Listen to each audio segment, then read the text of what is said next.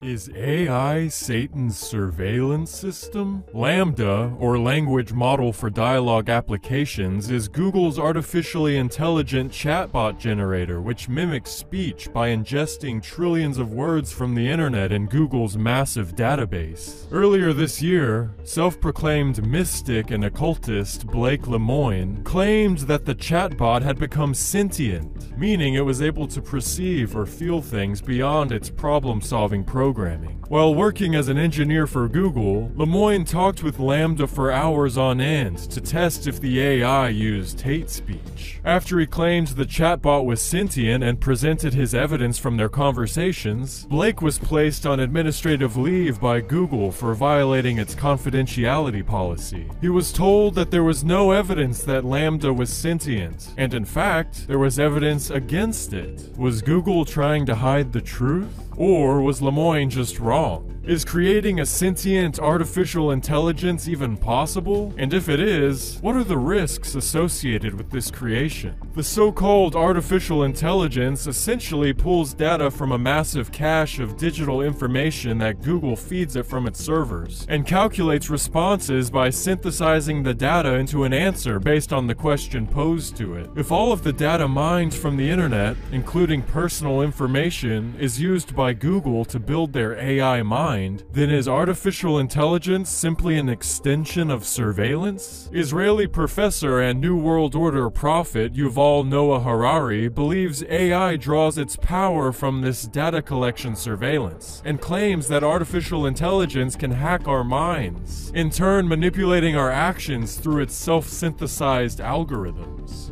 I think the most important thing to know about living in the 21st century is that humans are now hackable animals.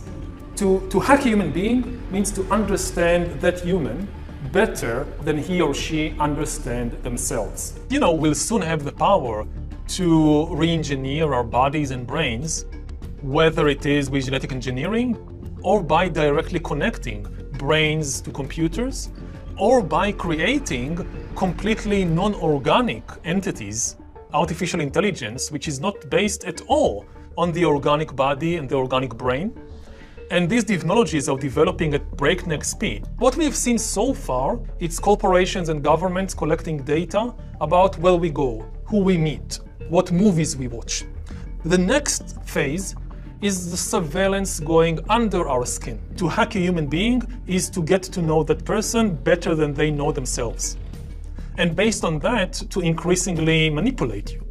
Whether or not AI becomes sentient or can become sentient seems to be a distraction from the main danger point. We are being surveilled and controlled by algorithms designed by our own personal data, which is mined by Google and other big tech companies. Just as God knows our thoughts and deeds, a false omniscience is being built all around us as a snare in Satan's worldly influence. Although Satan can't know our minds like God does, he has always wanted to be like the Most High. And in his attempts to gain that power, he's used principalities in high places to build a platform for his total surveillance system of humanity. So beware of the AI algorithm and try not to step into Satan's snare.